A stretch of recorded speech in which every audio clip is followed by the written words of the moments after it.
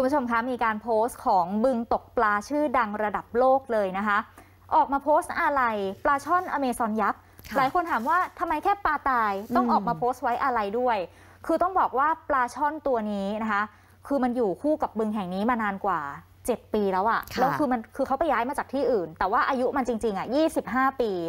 แล้วไปโดนนักตกปลาฝ่าฝืนกฎ เหมือนกับว่าเขาใช้เหยื่อเป็นนะคะก็คือเป็นเหยื่อที่ทางบึงเนี่ยห้ามเลยนะอืมห้ามในการเอาไปตกปลาในบึงแห่งนี้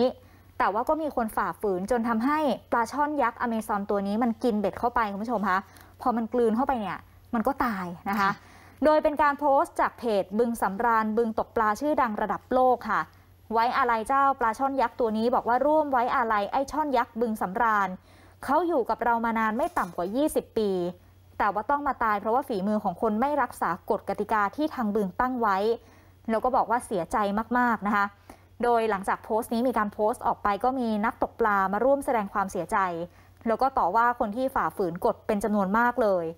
ผู้สื่อข่าวของเราเดินทางไปในพื้นที่นะคะที่บึงสำราญฟิชชิ่งพาร์คค่ะ อยู่บริเวณย่านบางน้ำเปรี้ยวในจังหวัดฉะเชิงเซาก็เป็นบ่อตกปลาขนาดใหญ่แบบนี้นะคะคุณผู้ชมเขาก็จะเปิดให้บริการ ให้คนที่อยากจะตกปลาเนี่ยก็สามารถเข้ามาตกปลากันได้ บรรยากาศวันนี้ต้องบอกว่าดูเงียบเหงาแล้วก็ค่อนข้างเศร้านะคะ เพราะว่านักตกปลาต่างรู้สึกเสียดายเจ้ายักษ์ใหญ่ คือเขาเรียกว่าเจ้ายักษ์ใหญ่นะคะประจำบึงสำราญ ก็คือเจ้าช่อนอเมซอนยักษ์หรือว่าอโรไพมาอายุกว่า 25 ปี คุณผู้ชมคะความยาวของมันเนี่ยยี่อะ3เมตร20เซนติเมตรนะคะ น้ำหนัก 150 กิโลกรัม คือยาวมากแล้วก็ตัวใหญ่มากจริง ๆ มูลค่า 250,000 บาท ลอยขึ้นอืดแบบนี้ โดยโดนนักตกปลามาลักลอบตก แล้วก็ใช้เหยื่อเป็นเนี่ยเข้าไปตกปลาประมาณกลางดึกที่ผ่านมาด้วย ด้านเฮียใหญ่นะคะเฮียใหญ่ที่เป็นเจ้าของบึงสำราญฟิชชิ่งพาร์คบอกว่าเมื่อเช้าไปพบเจ้าใหญ่ ตายขึ้นอืดลอยมาเหนือน้ำแบบนี้ ก็เลยทำการผ่าซากนะคะเนี่ยตอนเราเห็นในน้ำมันอาจจะดูไม่ใหญ่ใช่ไหมแต่พอเอาขึ้นหลังรถกระบะ แล้วก็เทียบกับตัวของเฮียใหญ่เนี่ยอืมันใหญ่มากนะ ความยาวคือมาสุดอะค่ะสาต็มเมตรกอะบเนาะมเออสามเมตรนี่สูงกว่าคนอีกนะคะเฮียใหญ่บอกว่าตอนที่ผ่าไปเจอเบ็ดบริเวณลำคอของตัวปลา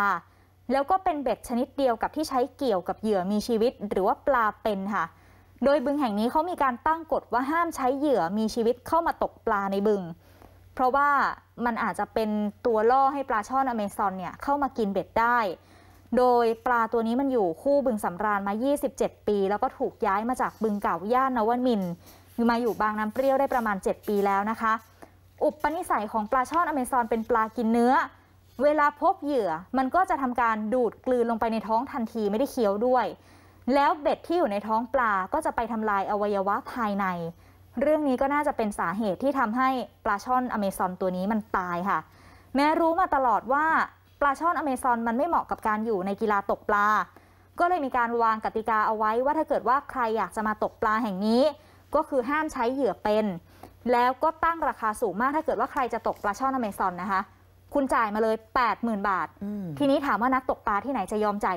80,000เขาก็เลยไม่ใช้เหยื่อเป็นกัน เขาก็จะไปตกปลาชนิดอื่นกันนะคะ ที่ตั้งราคาสูง เพราะว่าไม่อยากให้มีใครมาตกค่ะ แต่ว่าสุดท้ายแล้วมีคนฝ่าฝืน แอบนำเหยื่อเป็นเข้ามา ก็เลยทำให้เจ้าปลาช่อนตัวนี้มันตายค่ะ ไปฟังเสียงเฮใหญ่กันหน่อยนะคะครับส่วนนักตกปลาที่ตกปลาตัวนี้ตายท่านนี้เนี่ยขโมยตกเนี่ยอาจจะรู้เท่าไม่ถึงการ เห็นมันขึ้นข้างหน้าเห็นอูตัวใหญ่ คนตกปลาเนี่ยมีนิสัยเหมือนกันหมดนิสัยหนึ่ง คือเห็นปลาใหญ่ปุ๊บตูมมันมันเล่าร้อน อยากจะได้ขึ้นมาถ่ายรูป อยากจะเอาไปโชว์เพื่อนอยากจะอวดอยากตกมัน ก็ไม่รู้ไงฮะว่าการตกมันแล้วทำให้มันตายนะครับ ผมเชื่ออย่างนั้นนะครับ ก็บอกว่า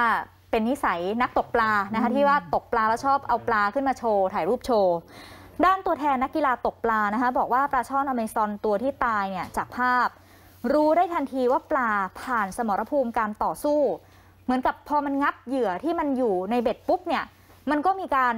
ยื้อแย่งกันไปยื้อแย่งกันมากับตัวของนักตกปลาด้วยค่ะก็เลยทำให้เกิดเหมือนกับเป็นบาดแผลขึ้นมานะคะ ด้วยความที่พอมันกืนเบ็ดเข้าไปที่บริเวณลำคอแล้วมันดึงใช่ไหมคะมันดึง นักตกปลาก็ดึง ทีนี้แหละมันอาจจะทำให้เบ็ดตัวนี้ไปเกี่ยวในคอ แล้วก็เป็นไปได้ว่าทำให้มันเจ็บแล้วมันกินอาหารไม่ได้หรือเปล่า มันก็เลยตายนะคะ แล้วก็มีอาการบาดเจ็บด้วย โดยการตายของปลาตัวนี้จะทำให้สังคม หรือว่าคนที่รักสัตว์มองกีฬาประเภทนี้เป็นกีฬาโหดร้ายทางทางๆที่ไม่เป็นความจริงเลย เพราะว่าทุกคนก็มีการตกปลากันอยู่ ต่างรู้กฎรู้ระเบียบกันดี และให้เกียรติปลาในฐานะคู่ต่อสู้ มองว่าปลาคือเพื่อน คนที่มาที่นี่จะใช้เหยื่อเป็นรำเท่านั้น แต่ที่สำคัญจะไม่ทำผิดกฎข้อห้ามของบึง เพราะว่าถือว่าเป็นการให้เกียรติซึ่งกันและกันค่ะ